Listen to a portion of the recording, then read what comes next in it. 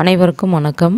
சிறப்பு குழந்தைகளுக்கு தையல் பயிற்சியில் இதற்கு முன் பதிவேற்றம் செய்த பயிற்சியின் தொடர்ச்சியை இந்த வீடியோவில் காணலாம்.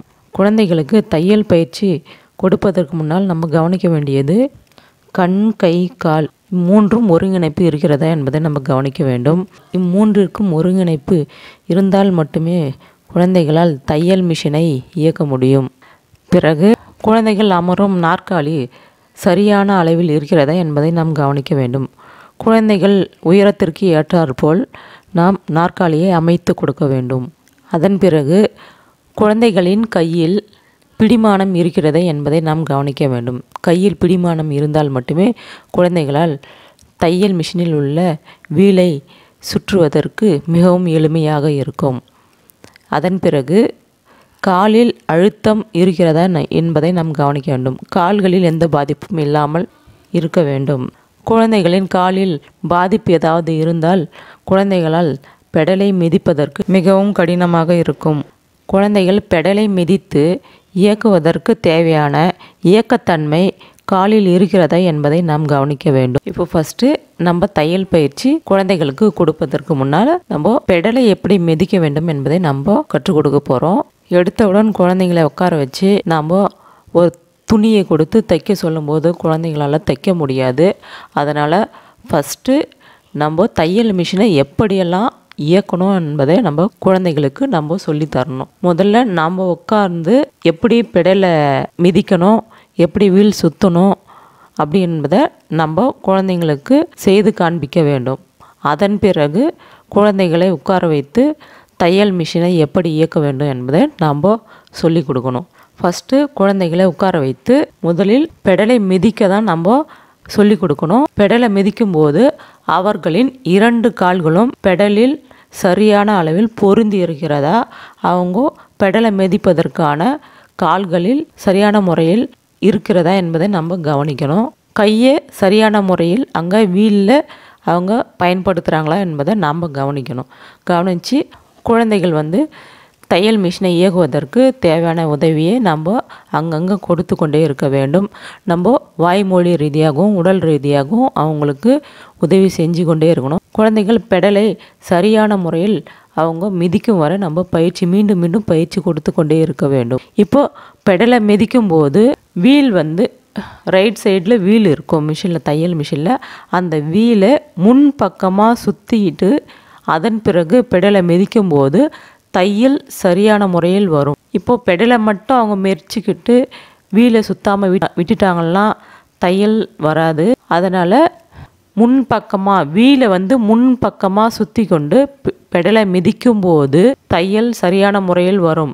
வீல் பின் பக்கமாக சுற்றும் போது மிஷினில் இருக்கிற ஊசி உடஞ்சிடும். அதனால் நம்ம சொல்லி கொடுக்கும்போது வீல் முன் பக்கமாக சுற்றி கொண்டு பெடலை மிதிக்க வேண்டும் என்பதை நம்ம குழந்தைங்கிட்ட சொல்லிகிட்டே இருக்கணும். இப்போ பெடலை மிதிக்க அவங்க கற்றுக்கிற வரைக்கும் நம்ம மீண்டும் மீண்டும் பயிற்சி கொடுத்து கொண்டே இருக்கணும். அவங்க பெடலை மிதிக்க சரியான முறையில் மிதிக்க ஆரம்பித்ததுக்கப்புறம் நம்மளோட உதவியை கொஞ்சம் கொஞ்சமாக குறைச்சிட்டு தாமாக அவங்களே பெடலை மிதிக்க நம்ம பயிற்சி கொடுக்கணும். இப்போ சரியாக பெடலை மிதித்து முடிச்சிட்டாங்க. அடுத்தது நம்ம என்ன செய்ய போகிறோன்னா ஏற்கனவே நம்ம அறிமுகப்படுத்திய பொருட்களை அனைத்தையும் எப்படி உபயோகப்படுத்த வேண்டும் என்பதை ஒரு ஒரு பொருளாக நம்ம எடுத்து வச்சு இப்போ இந்தந்த பொருளெல்லாம் எந்த இடத்துல நம்ம தையல் மிஷினில் பொருத்தணும் என்பதை குழந்தைகளுக்கு நம்ம செய்து காண்பிக்க வேண்டும்.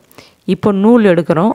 நூல் எடுத்து எங்கே போடணும் அப்படின்றத நம்ம குழந்தைங்க கையில் நம்ம சொல்லிகிட்டே செய்து காமிக்கணும். நூல் எங்கே மேலே தையல் மிஷின் மேலே ஒரு கம்பி இருக்குது அந்த கம்பியில் அந்த நூலை பொருத்தணும் அப்படின்றத நம்ம செய்து காண்பிக்க வேண்டும். அதன் பிறகு அந்த நூலை எடுத்து வந்து தையல் மிஷினில் எந்த இடத்துல நம்ம கோர்க்கணும் என்பதை குழந்தைங்க முன்னாடி செய்து காண்பித்து கொண்டே நம்ம சொல்லிகிட்டே நம்ம செஞ்சிட்டே இருக்கணும். அதன் பிறகு கேஸ் பாபின். கேஸ் பாபினில் நூல் எப்படி சுற்றணும் என்பதை நம்ம ஃபஸ்ட்டு நாம் செஞ்சு காமிக்கணும்.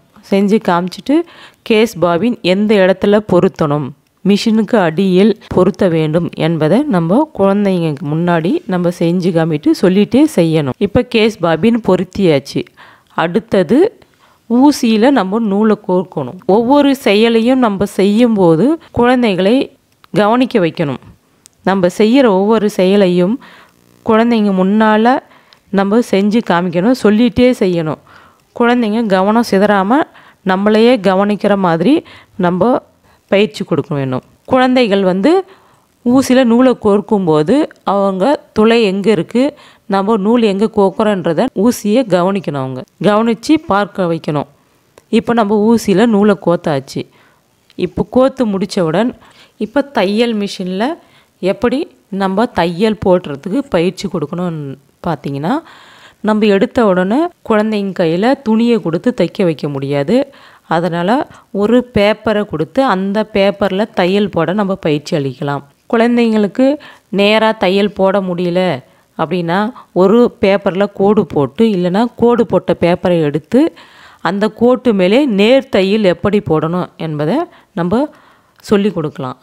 இப்போ பேப்பரில் நம்ம ஃபஸ்ட்டு பயிற்சி கொடுத்ததுக்கப்புறம் பேப்பரில் சரியாக அவங்க தையல் போட ஆரம்பிச்சிட்டாங்க அப்படின்னா அடுத்தது வேணால் துணியை நம்ம கொடுக்கலாம்.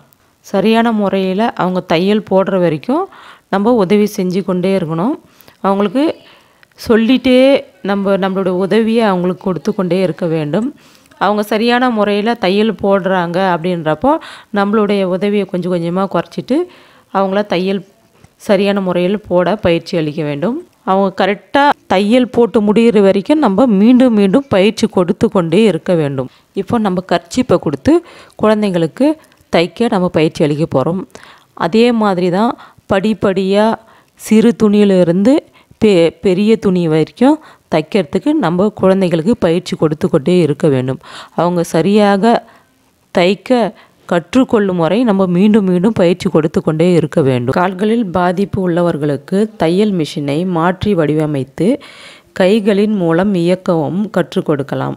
அதற்கு தையல் மிஷினில் உள்ள வீலை எடுத்துவிட்டு மோட்டார் பொருத்திய தையல் மிஷினை கொண்டு அவர்களுக்கு பயிற்சி அளிக்கலாம். அல்லது கைகளின் மூலம் மட்டும் இயக்கக்கூடிய தையல் மிஷின் வைத்து பயிற்சி அளிக்கலாம்.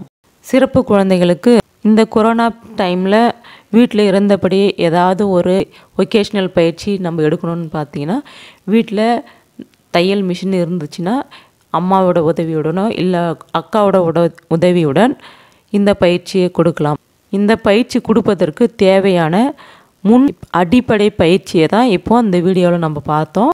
முழுமையாக தையல் பயிற்சி கற்றுக்கொள்ள விரும்பினால் அனுபவமிக்க தையல் ஆசிரியரையோ அல்லது சிறப்பு ஆசிரியரின் உதவியோடு கற்றுக்கொள்ளுங்கள். நன்றி வணக்கம்.